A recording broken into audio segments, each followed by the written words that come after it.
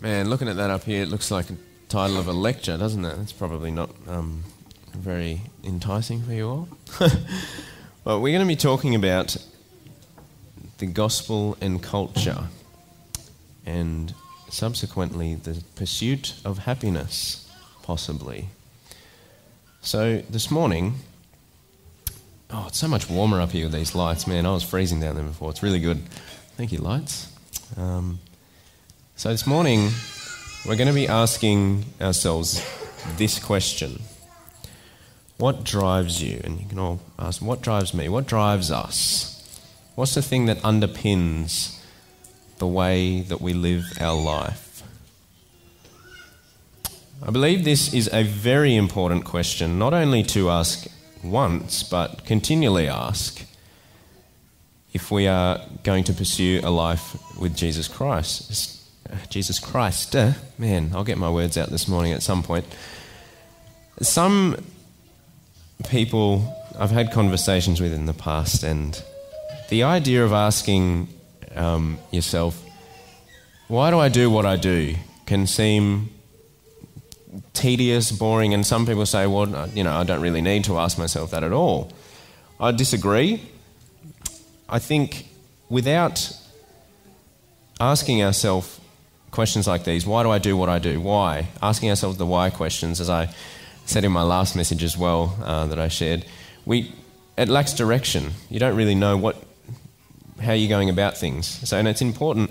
And it's important for other reasons too, um, because I've been looking at these three things recently, and I've just put uh, brief, sort of simple definitions up there of what they are. So I've been looking at sociology, phenomenology, and a bit of a study of worldview. And there's two things that come out there and really make me sort of think okay, asking myself the question, why do I believe what I believe? Why do I do what I do? Very important. And there's these two things. So in sociology, we have this concept.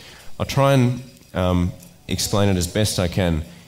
If you're not understanding, just yell at me and we'll try and make it better. So, in sociology, we have this idea that in any social structure, which is basically wherever there's people together, there exist conscious teachings, which are the ones that are talked about and expressed, and there's also unconscious teachings and unconscious belief. So, there's basically teachings that exist that aren't actually taught, if that makes, if that makes sense. They exist as a, something that comes in and still affects the way that we live our lives, but we may not necessarily know it unless we explore it. And there's an idea in worldview as well. No worldview is incomplete. Sorry. No worldview is incomplete. But we have the power to change our worldview and hold our worldview and take ownership of our worldview. But if we don't do this, if we leave gaps in it that we don't explore and we don't really go, okay, I really believe this, or I don't, or whatever, then the prevailing ideology of society comes in and fills those gaps automatically. That's what we find when we study worldviews. No worldview is incomplete, but if we don't complete it, society does it for us. Are we on the same page? Is this making sense? Yes, good, good. So, obviously, this was very, very intriguing for me to, to look at because I'm thinking, oh my goodness, I'm probably doing things and reasoning things and things are affecting the way that I make decisions and that sort of thing without even knowing what they are because I haven't really explored them myself. So it made me reflect on my own. And then, as someone who kind of is really passionate about just trying to figure out um, what living a life of faith means, what having a relationship with Jesus Christ means, and trying to traverse that, church came up. And as we know, church, well, church really is just another social structure. It's a place where people come together, and it's more specific social structure, um, an institution, which you can do. There's a lot of stuff on institutionalization in sociology. There's a lot of interesting stuff there. But in, within church, we have conscious teachings that are expressed by institution and then reflected by pastors, uh, elders, fellow believers, and that sort of things. They're not the teachings that I'm interested in looking at today. It's more the teachings that aren't taught, the unconscious ones that may have come in without us really noticing or really thinking about it. So we need to ask this question. In order to traverse and investigate those teachings, we need to ask ourselves this question What drives you? And in light of, well, I'll just say this beforehand. Because what drives us and what underpins the way we live our lives will actually affect our desires and our decision making and all of that sort of thing. There's actually a really interesting uh, concept in sociology. It's called the um, social construction of reality. So even our desires, something like our desires that we might think, wow, these are really personal, you know, they're mine, I'll claim them, actually says that to a certain extent they're socially constructed, which is very interesting. So we need to look at culture, and we looked at this as well. So looking at worldview, society fills the gaps that we don't. And so we need to answer the question according to society? What does, how does society answer the question, what drives you? What drives society? What underpins what drives society, particularly looking at the context of a relationship? Because what's at the heart of Christianity? A relationship with Jesus Christ.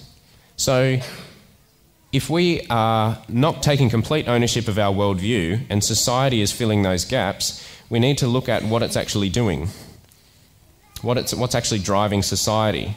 And so, in my reflections on society and culture and its sort of consumerist uh, capitalist ideology, I believe society's answer to the question, what drives you, is happiness.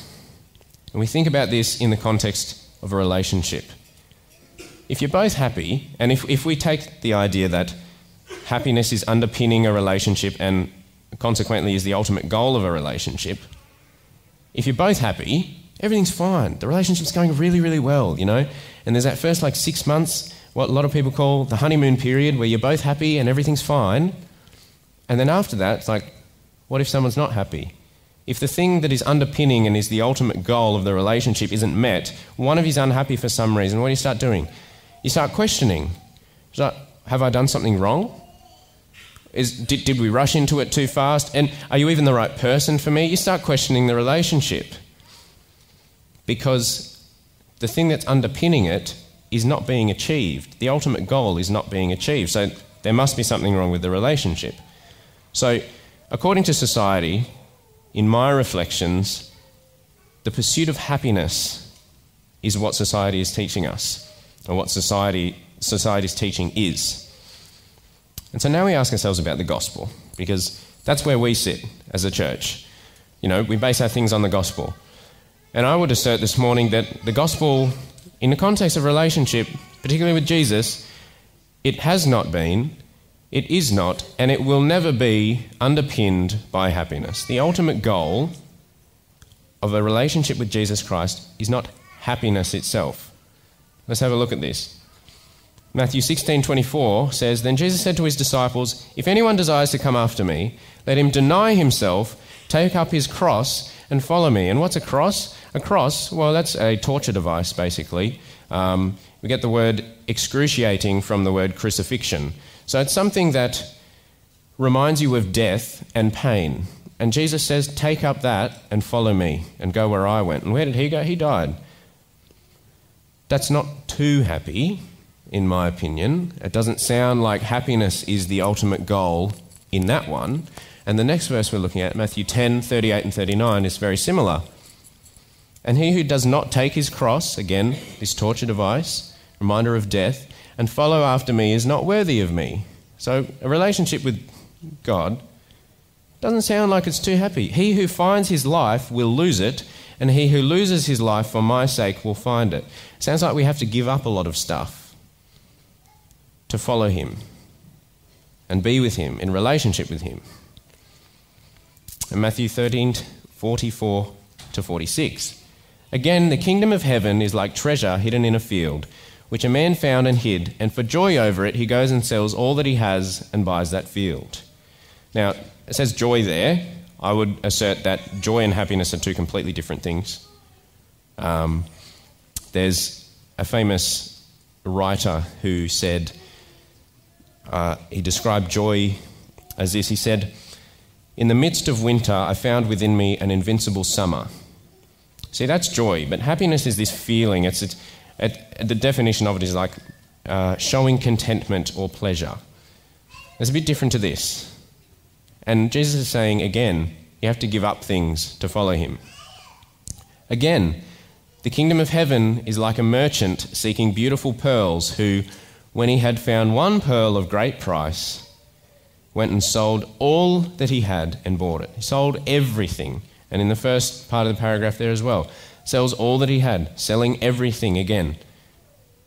Selling everything to follow someone or to be in a relationship with someone. Doesn't sound particularly like happiness is what is actually underpinning everything and the ultimate goal. It may be a byproduct, you could argue, but it's not what's underpinning the relationship. So, in all these three instances, Jesus is telling us that you've got a choice, basically. You've got, you've got me, you can be with me, or you can just follow what society says that you should follow after. You can make me what is underpinning the way you live your life, and particularly the context of relationships, or you can make it about what society is telling you to make it about, which is what we looked at before, I believe, is happiness, from the, based on the evidence that I've been looking at. So, in these situations, Christ himself is what is underpinning the relationship, the driving force. Christ is what's driving the relationship. And so, now, in the light of what we were talking about before about unconscious teachings and filling in, society filling in the gaps of a worldview, we need to ask ourselves the question again what drives you? What drives us? What is underpinning the way that we live our lives? What's underpinning our relationships? And then, with the idea of unconscious teaching and society having this innate ability to fill in the gaps for us, is it possible to think that Christ is the driving force behind the way we live our lives when he's actually not? Is it possible to think something is the way it is, but it not actually be the truth? Is there something else that's driving us? So, Jimmy was waiting in line to be judged at the end of time. And the line's pretty long because, you know, there's a lot of people to get through, a lot of people to be judged. And uh, he finds himself there and he goes, Oh boy, wow, I didn't, you know, can't believe I'm really here. It's going to happen. And he starts thinking to himself, you know, reflecting back on his life and going, Oh, I wonder. I wonder if I'll, you know, get into heaven. How, how did I live my life? What I, you know, I did some pretty good things, did some bad things. Oh, no, but hang on, grace. No, God's grace will be enough, surely. Oh, but what if it's not? You know, he's asking himself these questions and he's sort of, you know, he's getting closer to the front of the line. And as he gets closer to the front of the line, he sees some people going up from the judgment seat, going up to heaven, and some people going down to hell. And he's, you know, starts sort of sinking in what's about to happen. And he's going, oh my goodness, this is my fate. It's about to happen. And he, he just this anxiety keeps building up inside him. And then he gets closer to the front of the line. He's like, oh my goodness, I hope, hope Jesus' grace saves me. And, and then he gets to the front of the line, and all his anxiety disappears and is replaced with complete befuddlement and confusion. Because he looks at the judgment seat and he sees Satan sitting there. And he's thinking, hang on a minute, what the heck? This isn't what's supposed to happen. And he's just in a bit of shock. And before he can, before he can start actually thinking through that, Satan begins to talk to him. He's like, ah, Jimmy, welcome to judgment. I want you to take a look behind me, Jimmy. Look up there.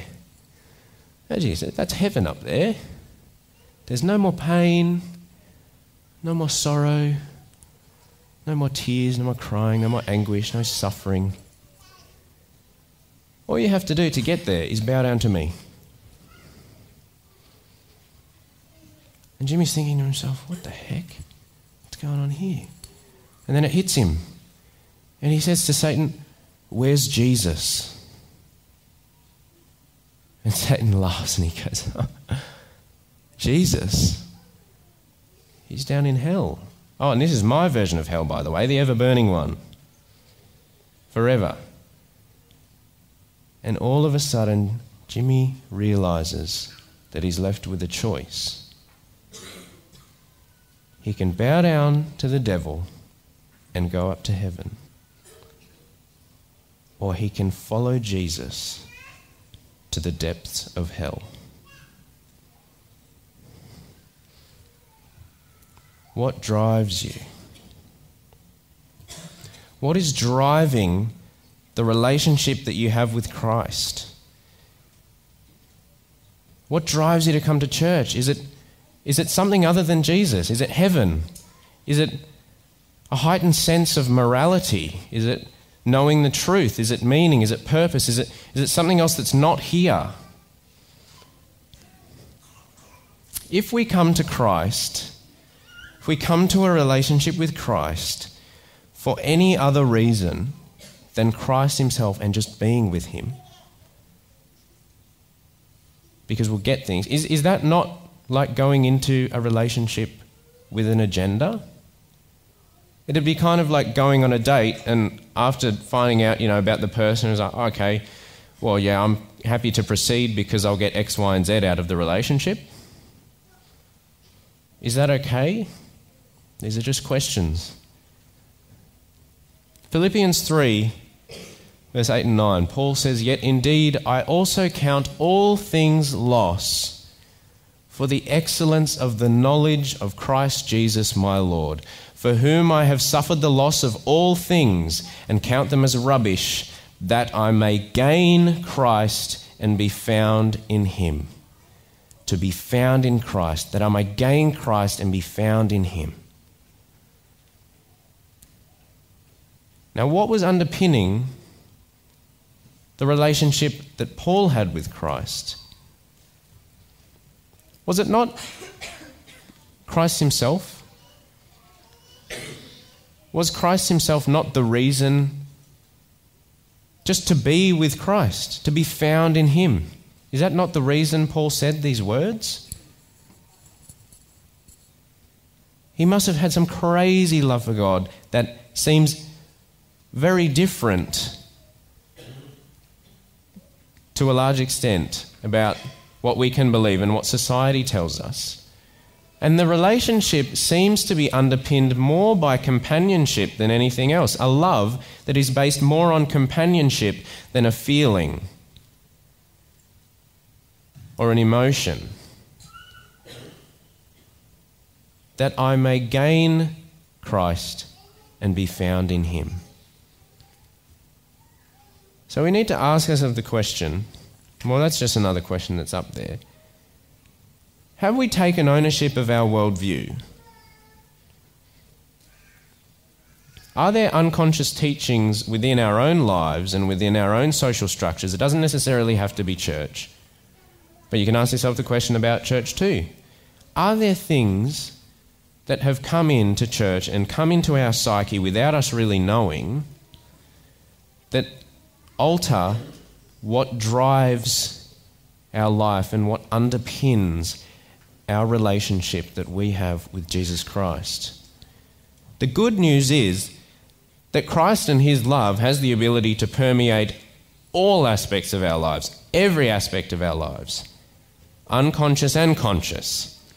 He can be the very thing that is the driving force behind our lives, and it can affect everything. It can affect our desire, our decision making, our everything, the way we go about life.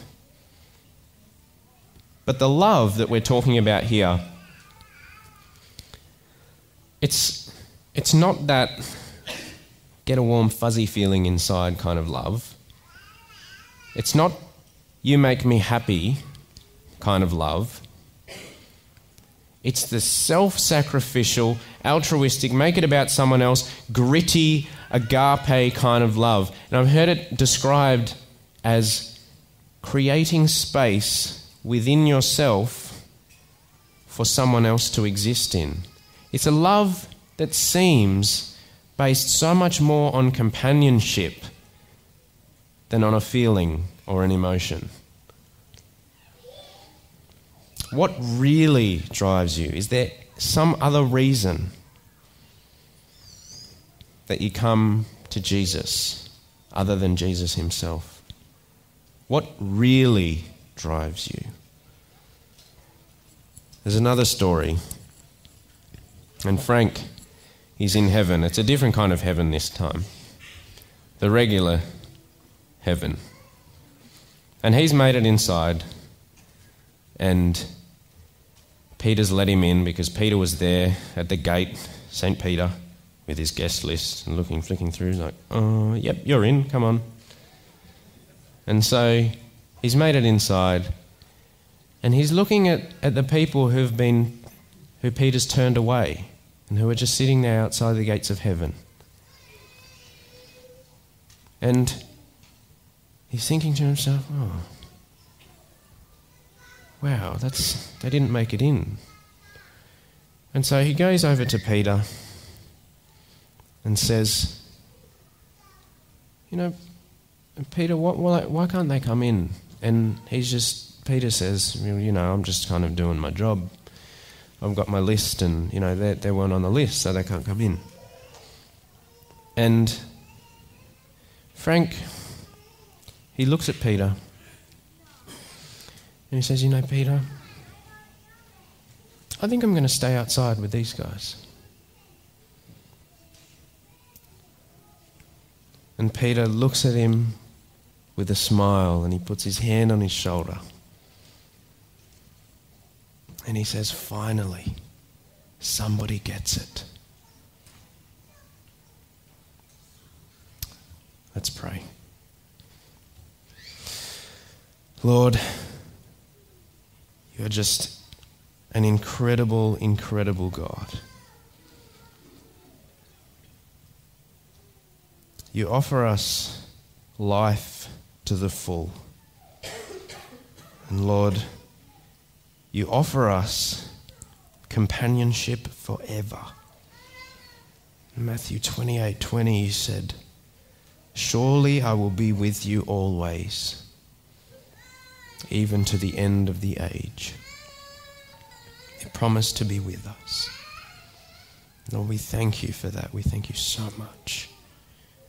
Lord, I pray that everyone who's heard this this morning will just reflect on their own life, not with fear, Lord, but in the hope that they would get to know you more. And as we go back into our weeks and we go from this place of meeting, Lord. There's people suffering all over the place. It's everywhere, it's rampant. I heard this morning teacher's mother is in hospital. I just pray that you would be with her, be a companion, be with her through the pain. And Lord, that is just one instance that we know of. Lord, there are people here this morning who are hurting. There are people in our communities who are hurting, who are suffering. May we reach out to them and not turn a blind eye when they reach out to us. Give us the courage to be open, the courage to be honest, the courage to practice this self sacrificial love that you have shown us in the life of Christ. May we make being with you the reason that we come to you, for nothing else. I pray all these things in the name of Jesus Christ. Amen.